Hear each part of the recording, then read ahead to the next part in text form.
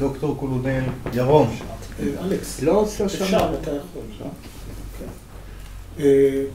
אני אקח לכיוון קצת אחר, אני אעלה נושא שכבר עלה פה כמה פעמים, אני רק אשים אותו בקונטקסט של הדיון הזה, אבל קודם אני רוצה להגיד תודה ליגאל, כי צריך הרבה מאוד אומץ לבוא ולדפוק עם פטיש עשרה קילו בנושא שכאילו כולם משוכנעים. לא, זה היה נגדי. ואתה נהיה אויב העם, אם אתה אומר מה שאתה אומר, אז... אומץ בכמות מסוימת זה כבר משהו אחר. לא, אם אנחנו במתחם הזה, בתחום הזה של לדבר זה בסדר. עכשיו, אני, ההעברה הראשונה שלך, אה, שמו לה כבר איזושהי הבחנה. וזה מה שאתה אמרת, שאתה מדבר על דמוקרטיה ולא על הערכים שנלווים אליה. בעצם מדברים היום על דמוקרטיה ליברלית, דמוקרטיה לא ליברלית, אה, לא דמוקרטיה ליברלית ולא דמוקרטיה ולא ליברלית, והדוגמאות של רוסיה ושל סינגפור נכנסות בכל אחד מהאלמנטים, אז אתה מדבר באמת כרגע על דמוקרטיה.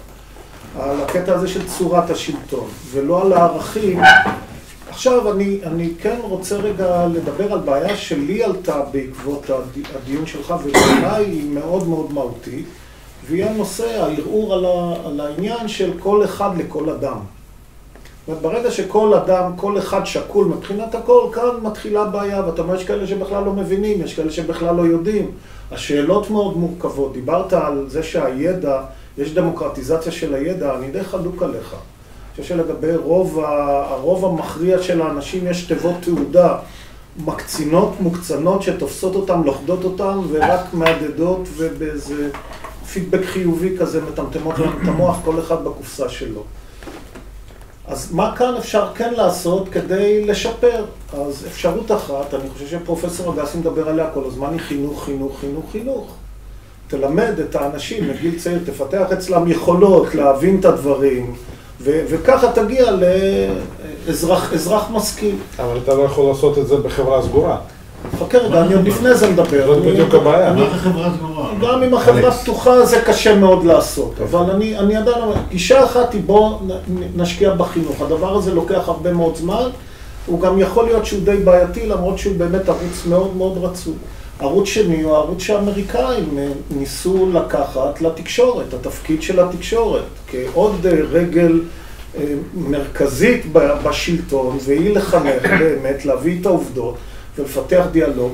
יש איזה מונולוג מאוד מרשים ששם סורקין בפה של הדמות הראשית בסדרת טלוויזיה שהייתה ניוזרום, שהוא מסביר מה התפקיד האקוטי של העיתונות האמיתית בדמוקרטיה. לפתח אזרחים או להכשיר אזרחים שיהיו כשירים להצביע בשאלות השעה.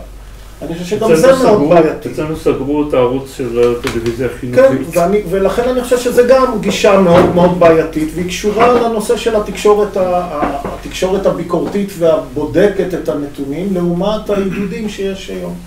איזה עוד אפשרויות יש כאן?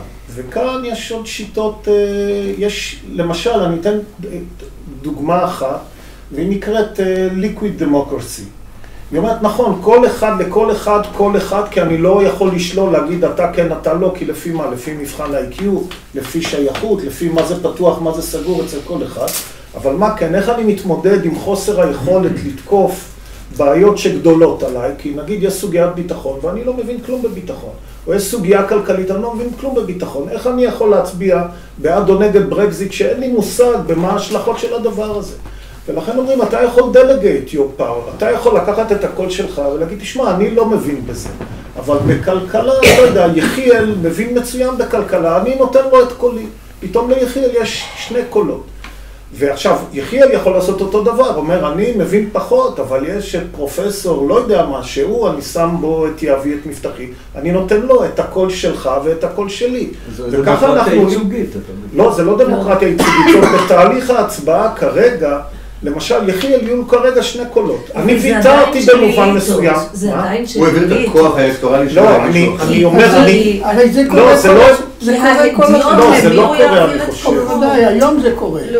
אז תכף אני, אני לא חושב שזה קורה בשאלות קונקרטיות, זה קורה בדיוק עם הכשלים שיגאל הצביע עליהם, שאני שם איזשהו פתק, שאין לי מושג מה הם בסופו של דבר יעשו במגוון של סוגיות.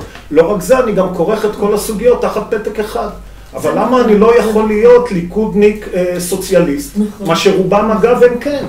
אבל אם אני מסתכל על הדברים שהם מקדמים בכנסת, אולי עכשיו כן, כי צריך להיבחר, אולי אחר כך לא, מה, איך אני מתמודד עם כל הדברים האלה. אז הליכוד, עכשיו, לא רק זה, הוא שומר לי על החופש, כי מחר יחיאל אכזב אותי, והוא פתאום הצביע על משהו בצורה שלא מוצאת חן בעיניי.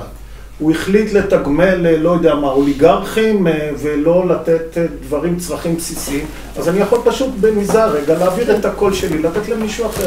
מה אני עושה הקונגרס בזה? והסנאט, הבחירה שלהם בארצות הברית, זה... זה לא, אבל הם עכשיו קבועים כל הזמן, אף אחד לא יכול לשנות, אחת לארבע שנים. אני מדבר, נגיד עכשיו עושים משאלי עם על דברים בסיסיים. מה צריך להיות הקוריקולום בבתי ספר? מה צריך ללמד? בסנאט האמריקאי זה כל שנתיים.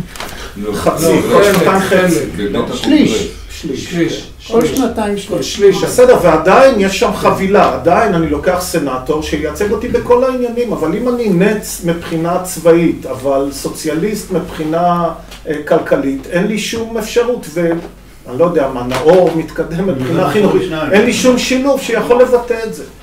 בשיטה הזו שאני יכול לחלק את תחומי העניין, את תחומי הידע, תחומי העניין לכמה, עשרה, עשרים תחומים, ובכל אחד לבחור את מי שייצג אותי, אני יכול גם לוותר. אני ככה מתמודד עם הבעיה של חוסר היכולת, חוסר הידע האישי. אז זו שיטה אחת שאפשר לנסות ולקדם אותה. מה שהזכרת, משאל עם באיטליה, עושים רפרנדום על כל נושא שהוא... לא, אבל אני... לא רק באיטליה, אבל באיטליה זה ממש שכיח, למשל בנושא של תחנת כוח גרעינית. כן, אבל הנה, אני תחנת כוח גרעינית, אני לא מבין כלום בזה, אני שבוי בתדמיות, לא אומרים כולם גרעין... מצביעים. לא, אני... יש רפרנדום, מי שרוצה מצביע. טוב, כן, חברים, אבל- חברים. לא, אה, אתה רוצה להצטרף למעגל הדוברים אגב? כן, אבל. שנייה, נכון? שנייה, אבל אתם יודעים. מה, הרמת לי להנחתה, זה בדיוק הדוגמה הבעייתית. כי אתה לוקח שאלה וכרגע אתה שואל את כל אחד ואתה נותן לכל אחד קול.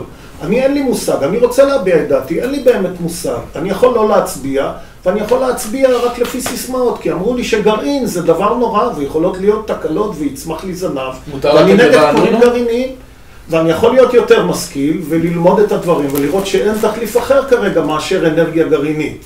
עכשיו, אם אני לא יודע את זה, כי אין לי את הידע, כי לא יכול להיות שלכולם יהיה את הידע, אני יכול להגיד, אני מעביר כרגע את זכות ההצבעה שלי, אני לא מצביע, אני נותן ליחיאל את קולי. איך אתה אני לא יודע מה אני- יחיאל יצביע. איך אתה מתמודד. עם זה שאני קונה את הקול שלך בכלל? אנחנו אומרים, עזוב, אל תעני. היות ויש הרבה כאלה, אז יכול להיות שיש פחות בעיה. לא. לקנות, ברגע שיש 120 חברי כנסת, אני יכול לקנות בקלות, ראינו עכשיו את הסדרה, לדעתי, מאוד מאוד יפה של אה, הספארי, באמצע, כן? כן. אז אני יכול לקנות 120 חברי כנסת, אבל ברגע שזה כולם וזה פתוח, ואני יכול להעביר ממך, ואם אכזבת אותי, אני יכול להעביר אליו, זה משהו אחר. לא חשוב, זו שיטה אחת. שיטה שנייה שאני רוצה להציע היא דווקא שיטה היסטורית. אם מישהו מכיר את השיטה שהייתה בוונציה לבחירת הדוג'ה. שיטה מדהימה. עבדה דוג'י. מ-1000, הדוג'י, מ-1268, 500 שנה השיטה הזו עבדה.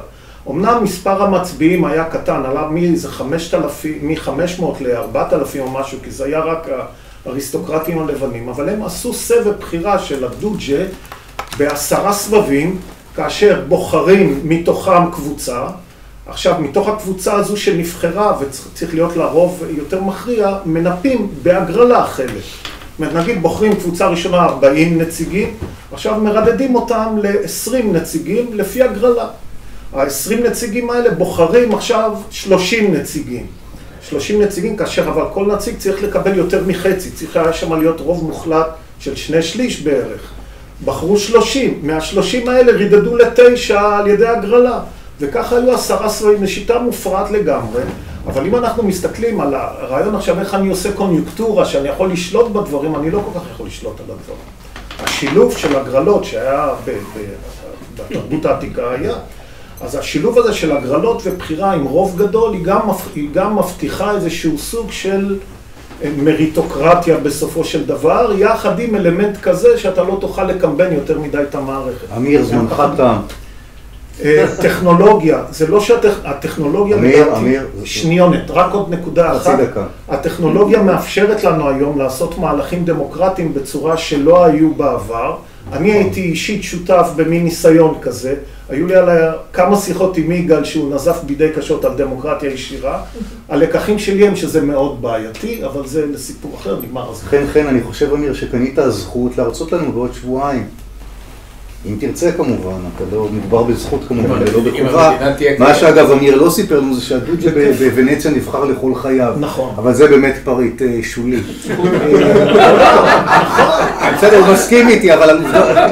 אוקיי, על לא הכיפאק. אמרתי אחרת. לא אמרת פשוט, לא אמרת. אבל איך בחרו בו? הוא לא, לא אמר-